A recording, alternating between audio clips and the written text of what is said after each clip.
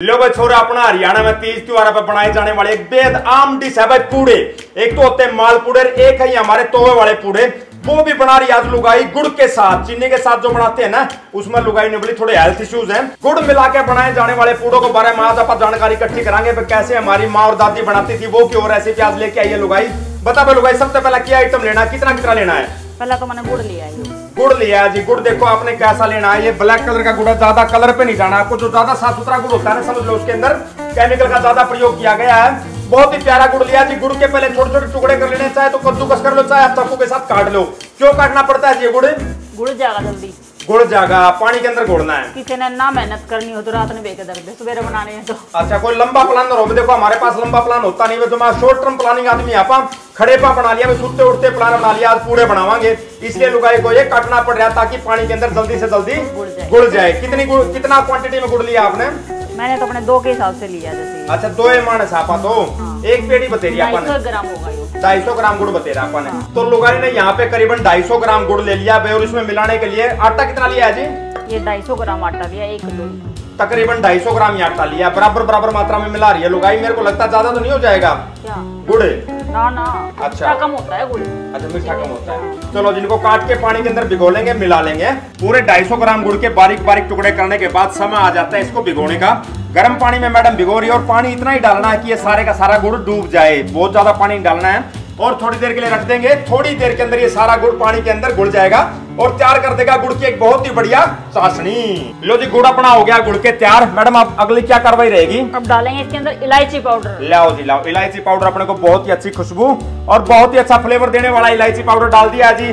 Number आ जाता है मेरे ख्याल से आटा मिलाने का। आटे को छानते हैं कि नहीं छानते? ये मैंने छान के रख छान छानते हैं आटे को जी छान के बिना आटा लेना है और आटा धीरे धीरे करके मिला देंगे इसके अंदर और एक बढ़िया सापा कर लेंगे तैयार गोड़ जिसको आप बैटर बोल देंगे अंग्रेज़ी में हिंदी में गोड़ और अंग्रेज़ी में बैटर। कोई भी लम्स नहीं रहना चाहिए लम्स को तोड़ने के लिए ले लेते हैं जेरनी अच्छा जेरनी जेरनी ले लेते हैं तारों वाली जेरनी और जेरनी के साथ मिला देंगे। हैंड बिटर जी बिटर के साथ मिला देंगे इसको। जो कि बहुत ही प्यारी चीज़ है ये तो सबके घर में होनी ही चाहिए। ठीक है जी सबको दे देंगे ऑर्डर मेरा सबसे फेवरेट आइटम है किचन का। ठीक है जी। गुड़ और आटा अपना गुड़ के हो गया रेडी एक बार कंसिस्टेंसी दिखा दो जिसकी बहुत ज़्यादा पतला भी नहीं चाहिए बहुत ज़्यादा गाढ़ा भी नहीं चाहिए। ऐसी कंसिस्टेंसी चाहिए। जैसे ही अपना तवा गर्म हो जाता है सबसे पहले तवे को करेंगे। क्या करेंगे जी? ग्रीस ग्रीस करेंगे बतावे गाड़िया में ग्रीस होया करता वहाँ पे भी ग्रीस हो है जब ये चल रहा है ना तो ये चिपक जाएगा। ठीक है इसको ग्रीस बोलते हैं न्यू कौन कंदी चिकना करांगे? कड़त ले नाम काट गए चलो जी थम गरीस मत करियो थम तो न चिकना कर लियो। क्योंकि लोग आने लोग पे चिपक जाएगा। नॉन स्टिक पे तो कौन चिपके? अरे तो गरीस नाम क्या हतर दे न्यू का देता हूँ न चिकना करांगे। लो जी घी घेर दियो और माड़ा घिस लियो इसने चिकना हो जाएगा। हाँ न्यू वाली बात है। तवा हो गया रेडी जी पूड़ों के लिए।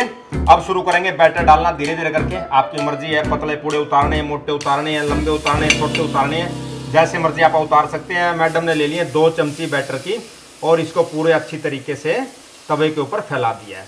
अड़के हाथ से फैलाना ना तो नीचे से उतर के आ जाएगा और आपका पूरा फटने के पूरे पूरे और ये बुलबुले हो। गए हमारे चालू। और इसके ऊपर सबसे खास बात ये है कि जब आपका बैटर अच्छा बनता है ना तो बीच में ये छोटे छोटे छेद बन जाते हैं जिससे इंडिकेट हो जाता है जी आपका जो ये पूड़ा है ना बहुत ही बढ़िया सिकने वाला है। थोड़ा थोड़ा घी ले लेंगे साइड से हड़का हड़का घी अब डालना शुरू करेंगे। घी के साथ ये पूड़ा सिकता रहेगा। इसमें घी की कंजूसी नहीं करनी है। ओके घी अच्छा डालना है इसमें मालपूड़े में और इस पूड़े में यही फ़र्क है। मालपूड़ा जो होता है ना उसके अंदर माल ज़्यादा होता है इसलिए मालपूड़ा बोल देते हैं। इसके अंदर माल थोड़ा कम है मतलब माल आप देसी घी को ही बोलते थे माल थोड़ा कम है इसलिए सूखा पूड़ा बोल दिया तवे वाला पूड़ा बोल दिया। एक तरफ़ से प्रॉपर तौर पर सिकने के बाद पलटी मारेंगे इसकी। बड़े ध्यान से उतारना है कहीं से कोई मिस्टेक ना हो जाए कहीं से कोई मिस्टेक नहीं होती पहले में ही होती होती है तो। अच्छा। चिपकना होता है ना वो। शुरू में क्या होता है ना जी तवा प्रॉपर टेम्परेचर नहीं ले पाता कई बार ज़्यादा गर्म हो जाता है कई बार कम गर्म हो जाता है इसलिए पहला जो आपका कूड़ा होता है उसके अंदर छोटी मोटी गड़बड़ियाँ हो सकती है पर पहला उतरने के बाद दूसरे के अंदर कोई गड़बड़ नहीं होती थी। थोड़ा सा मैडम ने नीचे फिर घी डाल दिया है दूसरी तरफ़ घी डाल दिया है। अच्छा घी के साथ पकाएँगे एक हिस्से को। हाँ। ठीक है जी। प्रॉपर पक गया एक तरफ़ से पलटी मारेंगे कूड़े की पलटी मारने में ध्यान रखना जी घी बहुत हाँ, गर्म है ना इसके ऊपर? हाँ घी बहुत गर्म है इसके ऊपर। और ये देखिए कितना हसीन कूड़ा यहाँ तैयार हो गया। एक बार पलटा हटाओ जी मेरे को दिखाने दो। कितना हसीन यहाँ पे पूरा तैयार हो जाता है। बहुत ही खूबसूरत घी के अंदर सिक्के कलर देखो कितना प्यारा है गुड़ का। बल्ले बल्ले मज़ा ही आने वाला ऐसा कलर नहीं आता चिल्ली के। चिल्ली के ये सफ़ेद सफ़ेद बनते हैं। सफ़ेद बन जाते हैं। ये नेचुरल बने है पूरा जो अपनी माए और दादियाँ पुराने समय में बनाती रही है वो का वो पूरा बन के यहाँ तैयार हो गया है। आजकल लोग डालते है ना इसमें मैदा भी डाल लेते हैं। सूजी भी डालते हैं पर बढ़िया तो बनते हैं, पर वो वाला फ्लेवर नहीं आता जो अपने पहले लोग बनाते थे। लोग दिखावा ज़्यादा पसंद होने लग गया ना जो सुंदर लगता है ना आजकल आप उसी चक्कर में भागते हैं। हाँ। मैदे से सूजी से थोड़ा सा इसका कलर जो है ना प्रीमियम हो जाता है इसलिए डाल लेते होंगे।